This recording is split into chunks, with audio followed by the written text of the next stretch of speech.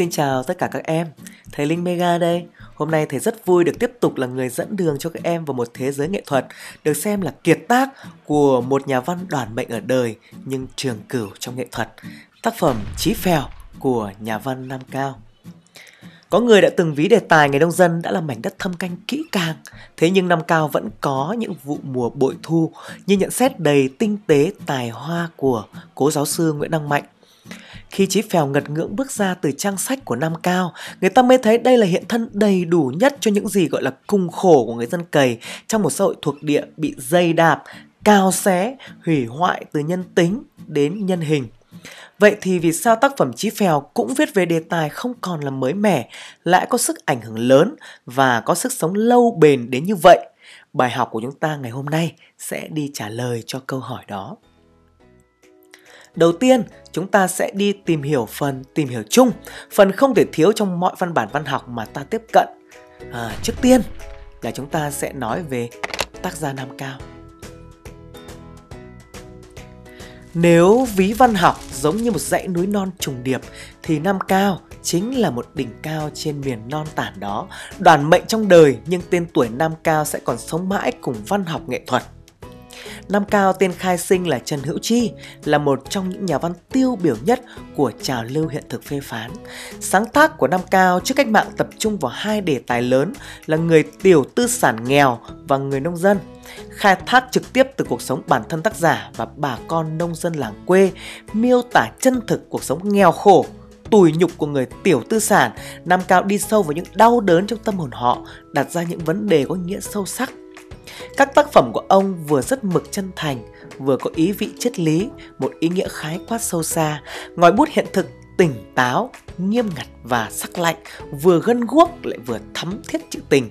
Nhà văn có sở trường trong miêu tả tâm lý con người, nhất là khi đi vào miêu tả diễn biến tâm lý tinh tế mà phức tạp. Chuyện ngắn Chí Phèo nguyên có tên là cái lò gạch cũ khi in thành sách lần đầu năm 1941, nhà xuất bản Đời Mới Hà Nội đã tự ý đổi tên là Đôi Lứa Xứng Đôi. Đến khi in lại trong tập Luống Cày năm 1946, Nam Cao đã đặt lại là Chí Phèo. Chí Phèo không những là một tác phẩm xuất sắc nhất trong văn nghiệp của nhà văn Nam Cao, nó còn xứng đáng là một kiệt tác của văn học giai đoạn đương thời, một tác phẩm lớn về nhiều mặt dù chỉ chứa đựng trong dưng lượng của một chuyện ngắn. Qua số phận bi thảm của Chí Phèo, nhà văn lên án sâu sắc sâu tàn bạo trà đạp nhân phẩm con người, vạch ra mối mâu thuẫn gay gắt không thể điều hòa ở nông thôn Việt Nam đương thời và tình trạng tha hóa phổ biến trong xã hội. Đồng thời, năm cao thiện tư tưởng nhân đạo tốt đẹp, niềm tin vào bản chất lương thiện của con người. Bây giờ chúng ta sẽ chuyển qua phần trọng tâm kiến thức nhé. Tác phẩm Chí Phèo là câu chuyện về cuộc đời của Chí. Như chúng ta đã biết, phải trải qua một bi kịch đã là đau đớn, có thể coi là bất hạnh. Chí Phèo phải nhận về trong kiếp nhân sinh của mình tới 4 bi kịch. Đó là bi kịch bị bỏ rơi, bi kịch bị tha hóa, bi kịch bị cự tuyệt quyền làm người và cuối cùng là bi kịch vòng lặp. Để dễ hình dung hơn, mời các em đến với phần uh, tóm tắt sau đây.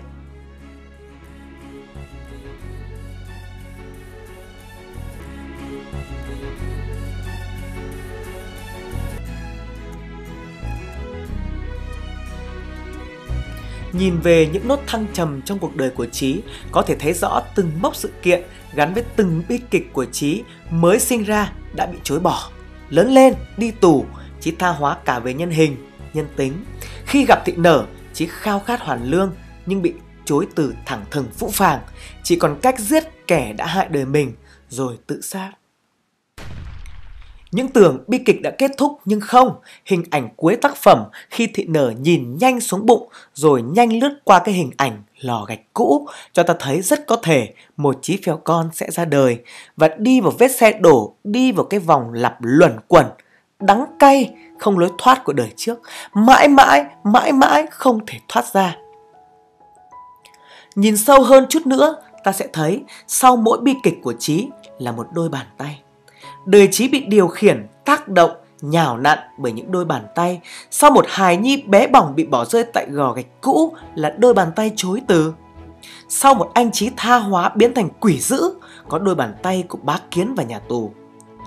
Sau một anh trí phèo khao khát hoàn lương là đôi bàn tay vụng về mà ấm áp của thị nở. Và sau cái chết đầy bi thương của trí phần cuối, có bàn tay khước từ của bà cô, đại diện cho định kiến xã hội tàn nhẫn. Theo mạch đó, chúng ta sẽ đến với bi kịch mở màn trong chặng đường của nhân vật. Bi kịch bị bỏ rơi được nuôi dưỡng bởi bàn tay của những người nông dân lương thiện.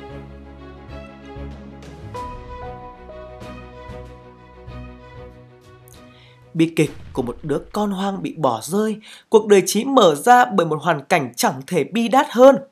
Ngay từ khi mới ra đời, đã bị bỏ rơi ở cái lò gạch cũ giữa một cánh đồng hoang hoải lạnh lẽo. Hắn là một sản phẩm của quá trình vụng trộm và cha mẹ hắn bằng sự nhẫn tâm đã chối bỏ hắn. Hắn là một sản phẩm của sự không mong muốn hay chính xã hội ngay từ đầu đã không chấp nhận một thằng như hắn được ra đời. Cuộc đời hắn ngay từ lúc lọt lòng là một sinh linh bé nhỏ, thánh thiện đã bị đôi bàn tay cha mẹ khước từ, chăm dưỡng và nuôi nấng.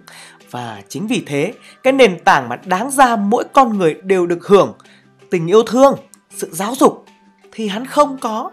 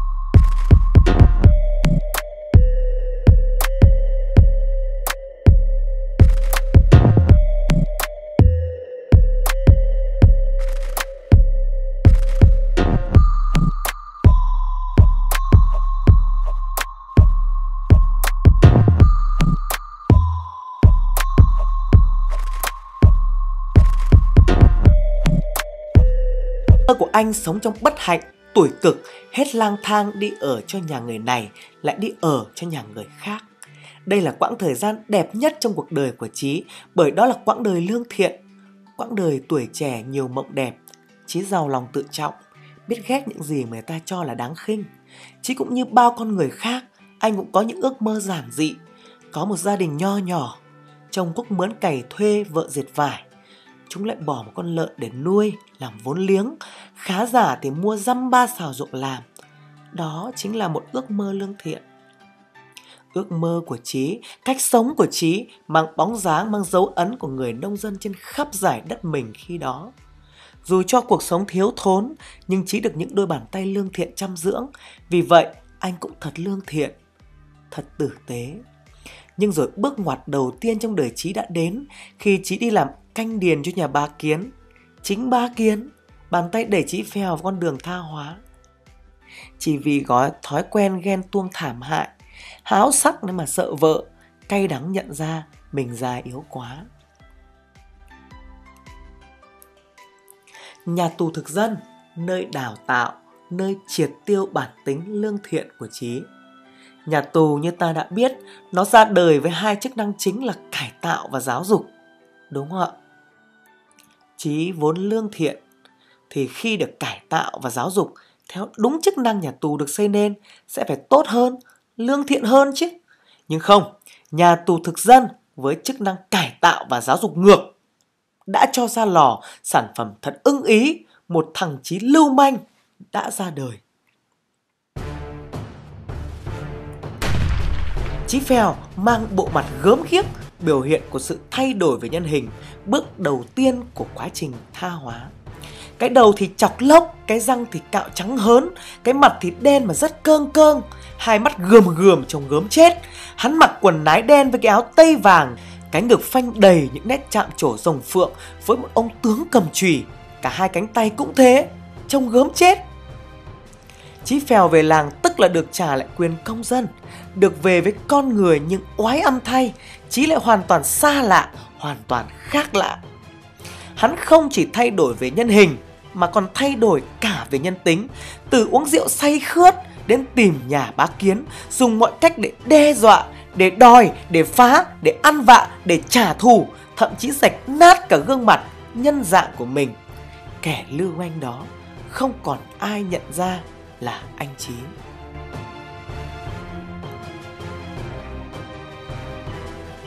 Bá Kiến, bàn tay hoàn thành nốt cuộc nhào nặn để biến trí thành quỷ dữ. Bá Kiến dân làng Vũ Đại vẫn gọi là cụ bá. Tuy chỉ hoạt động trong phạm vi làng xã, nhưng có đủ ngón nghề lọc lõi ra đời. Kẻ lưu manh trí Phèo đến trà thù Bá Kiến và nhanh chóng bị đánh gục trước sự xảo quyệt của cụ bá. Chí Phèo đã rơi vào sách lược dùng thằng đầu bò, trị thằng đầu bò của Bá Kiến. Từ đây, Chí Phèo trượt dài trên dốc tha hóa và hắn bị đẩy hẳn ra khỏi xã hội loài người. Hắn đã trở thành con quỷ dữ của làng Vũ Đại, xây dựng nhân vật bá kiến, Nam Cao đã trị ra tội ác của một lực lượng xã hội đã xô đẩy người nông dân vào tình trạng bế tắc, trượt dài trên dốc tha hóa.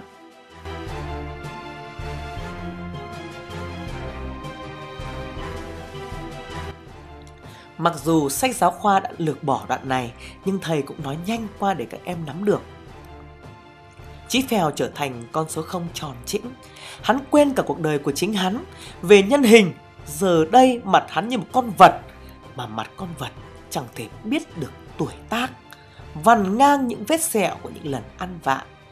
Về nhân tính, trong đầu hắn là những làn xương, không còn ý niệm thời gian, không còn khái niệm không gian, không còn ý thức cho nên hắn gây ra bao nỗi đau, làm đổ máu và nước mắt của không biết bao nhiêu gia đình. Hắn làm khi hắn say. Người ta sai hắn làm và hắn làm như một công cụ. Hắn không biết hoặc lờ mờ. Tất cả chìm trong men say. Và như thế, hắn ngật ngưỡng đi về trong nỗi khiếp đảm, căm ghét, khinh bỉ, kỳ thị của dân làng Vũ Đại. Hắn là con thú hoang, là căn bệnh dịch. Những tưởng như thế đã là bi đát lắm. Nhưng chưa, bi kịch đau đớn nhất cuộc đời Chí chưa đến.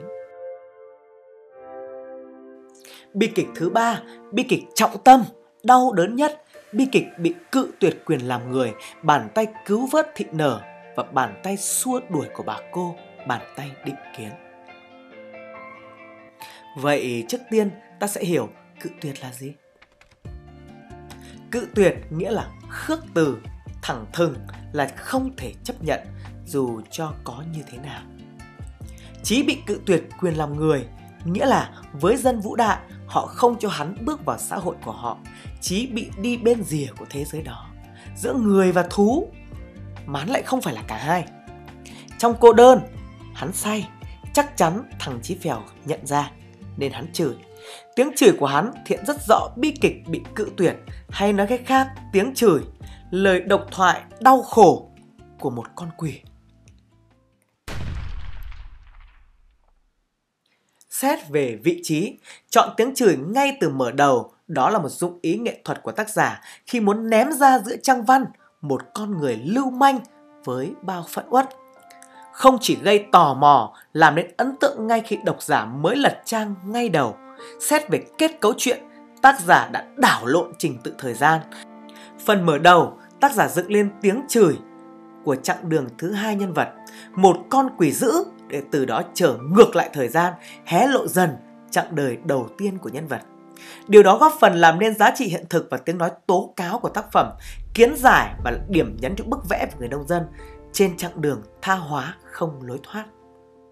Xét về cấp độ, tiếng chửi cất lên tưởng chừng vu vơ vô nghĩa, tiếng chửi của một thằng lưu manh đầu đường xó chợ, tiếng chửi cất lên từ miệng một thằng say mềm, say quanh năm suốt tháng, một thằng không cha không mẹ, vô giáo dục và chuyên làm chuyện tàn ác. Nhưng nếu nghe kỹ, ta lại thấy dường như tiếng chửi ấy không hề vu vơ và trong tiếng chửi ấy bộc lộ rất nhiều điều, nhiều những nỗi niềm của Trí và dù hắn đã say và ý thức hoàn toàn là tê dại Trước hết là về mặt cấp độ, rõ ràng Chí Phèo chửi không hề lộn xộn mà rất có chủ đích các em. Được sắp xếp theo thứ tự giảm dần, từ rộng đến hẹp, từ xa tới gần, từ bâng quơ đến cụ thể rõ ràng, bắt đầu bằng cấp lớn nhất trời và hẹp nhất là đến đứa đẻ ra hắn, tức cha mẹ hắn. Về tính chất, chửi là một hình thức phản ứng, một sự căm phẫn, giận dữ. Chí phèo căm phẫn cuộc đời, giận dữ với tất cả mọi người. Nhưng vì sao Chí phèo căm phẫn đến thế nhỉ? Sao lại chửi tất cả như vậy nhỉ? Trong sự im lặng của không gian, dù đã chửi tất cả nhưng không ai đáp lời. Hóa ra Chí Phèo căm phẫn bởi chẳng ai thèm đáp lời hắn. Tất cả đều không thèm giao tiếp với hắn. Tất cả đều chối từ hắn.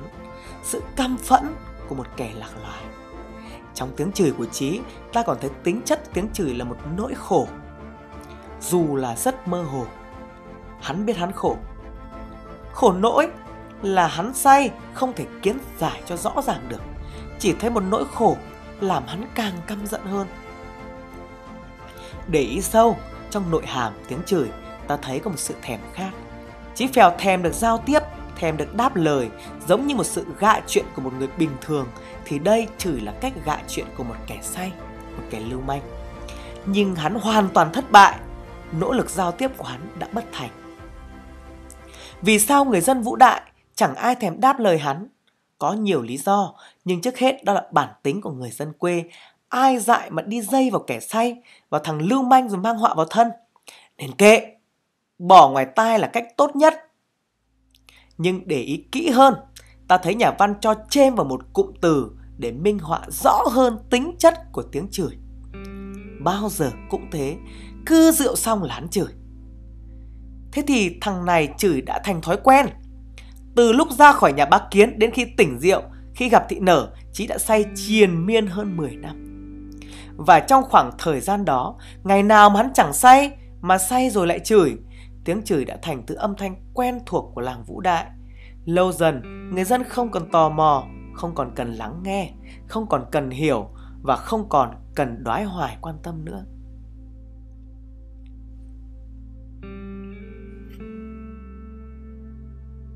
Tiếng chửi hay thứ ngôn ngữ chi phát ra đã trở thành điều vô nghĩa với họ hay nói cách khác, kênh giao tiếp giữa trí với xã hội đã bị ngắt đứt. Nhà triết học Marx từng định nghĩa con người là tổng hòa của các mối quan hệ xã hội mà điều hình thành nên cộng đồng người làm nên xã hội không có gì khác ngoài giao tiếp. Thông qua ngôn ngữ, kênh giao tiếp của trí đã bị ngắt đứt rồi, tức là trí phèo đã bị ném ra khỏi cộng đồng vũ đại. Người dân đã cự tuyệt quyền làm người của trí, hay trí đã không còn được định nghĩa như một con người sự cự tuyệt đó là hình phạt cho kẻ đã đánh mất chính mình, đã trở thành công cụ của tội ác, đã gây bao nỗi đau cho người dân. Say đã thật đau khổ, vậy nếu tỉnh ra còn đau đớn thế nào? Để nhận đủ đầy những kỳ thị, ghẻ lạnh, cự tuyệt từ tất cả mọi người, đó chính là lúc Chí Phèo được phép màu để tỉnh lại, tỉnh để nhận ra bi kịch đau đớn nhất của cuộc đời mình. Thị nở là nhân vật là đôi bàn tay tiếp theo đây đã đánh thức, chỉnh đốn rồi thắp lên trong trí ước mơ. Vậy thị nở là ai và thị nở đã làm được điều gì? Đó là hai câu hỏi cũng là hai trọng tâm cần phải làm sáng tỏ. Đầu tiên, thị nở là ai? Đó là một người đàn bà khốn khổ của làng Vũ Đại, xấu là một bi kịch và là bi kịch đau đớn nhất của người phụ nữ luôn được coi là phái đẹp. Cái xấu của thị được Nam Cao gói gọn trong bốn từ ma chê quỷ hờn. Thị nở không những xấu, lại còn nghèo. Thị cũng như Chí Phèo, không được ai yêu thương. Có lẽ đây chính là dụng ý của Nam Cao khi để Chí Phèo và Thị nở gặp nhau. Những kẻ cùng đường trong xã hội đã đến với nhau, yêu thương nhau, có thể chỉ trong phút chốc nhưng cũng có gọi là tình yêu. Câu hỏi thứ hai, Thị nở đã làm được gì? Có lẽ nói không ngoa khi thị đã làm được điều phi thường, điều mà bất cứ người làng vũ đại nào cũng không làm nổi, biến con quỷ dữ trở về làm người. Nhưng tại sao thị nở làm được điều đó? Nó đến từ suy nghĩ và hành động của thị. Trước hết là trong suy nghĩ của thị. Cái thằng liều lĩnh ấy kể ra thì đáng thương Còn gì đáng thương bằng nằm đau ốm, Còng queo một mình Giá thử đêm qua không có thị thì hắn chết Thị kiêu ngạo vì đã cứu sống một con người Thị thấy như yêu hắn Đó là một cái lòng yêu của một người làm ơn nhưng cũng cả lòng yêu của người chịu ơn.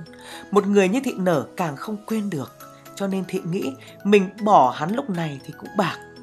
Dẫu sao cũng đã ăn nằm với nhau, Ăn nằm với nhau như vợ chồng. Tiếng vợ chồng thấy ngừng ngượng mà thinh thích.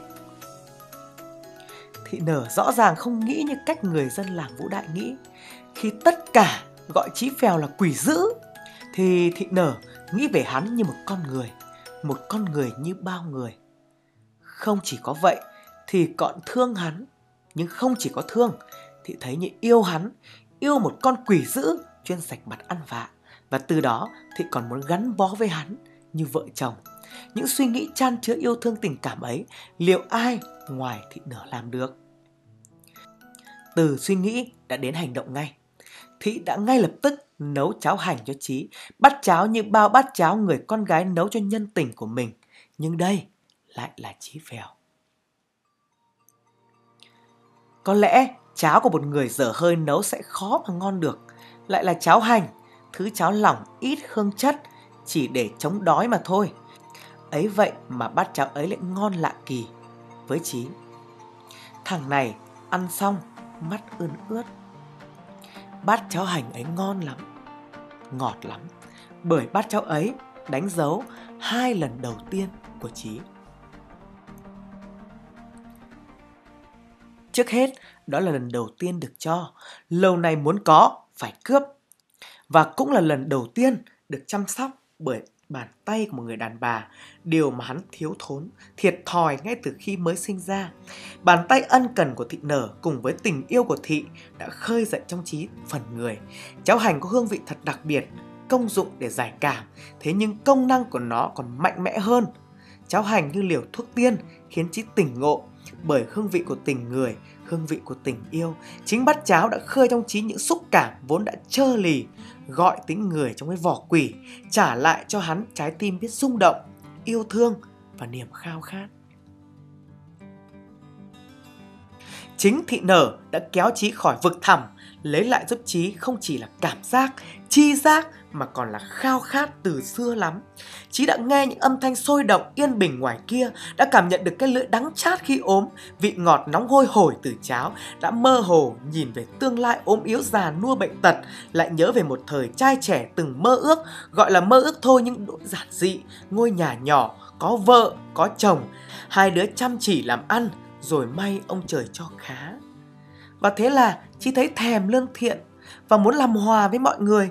Chí đặt hy vọng lớn vào thị nở. Thị nở sẽ mở đường cho hắn. Thị có thể sống yên ổn với hắn thì sao người khác lại không thể được. Họ sẽ lại nhập hắn vào cái xã hội bằng phẳng, thân thiện của những người lương thiện. Chí hình dung về tương lai tươi đẹp khi chung sống với thị nở, rồi chí ngỏ lời với thị, trong đợi thị về xin phép bà cô. Bà cô, bàn tay xua đuổi bàn tay đại diện cho định kiến tàn khốc. Lời nói của bà cô thị nở như một gáo nước lạnh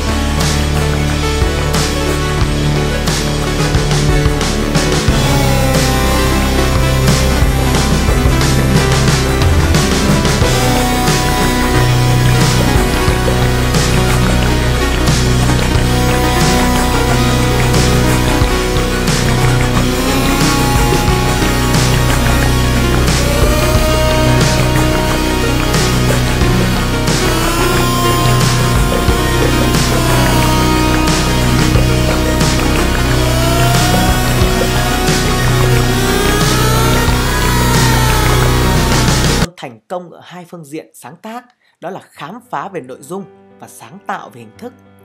Chính điều đó đã nâng tầm vóc nhà văn Nam Cao thành một nhà văn lớn, một tác gia lớn của nền văn xuôi Việt Nam hiện đại.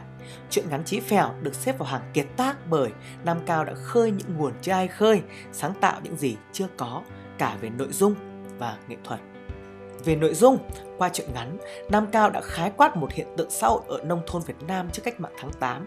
Một bộ phận nông dân lương thiện bị đẩy vào tình trạng lưu manh hóa. Nhà văn đã kết án đanh thép cái xã hội tàn bạo, tàn phá cả thể xác, tâm hồn của người nông dân lương thiện, đồng thời khẳng định bản chất lương thiện ngay trong khi họ bị vùi dập, mất cả nhân hình lẫn nhân tính. Về nghệ thuật, ở tác phẩm này, nhà văn Nam Cao đã thể hiện được một trình độ bậc thầy về nghệ thuật xây dựng nhân vật sống động, khám phá miêu tả sâu sắc tâm lý nhân vật, kết cấu tác phẩm một cách độc đáo và có một vốn ngôn ngữ phong phú, sinh động cho mọi kiểu nhân vật.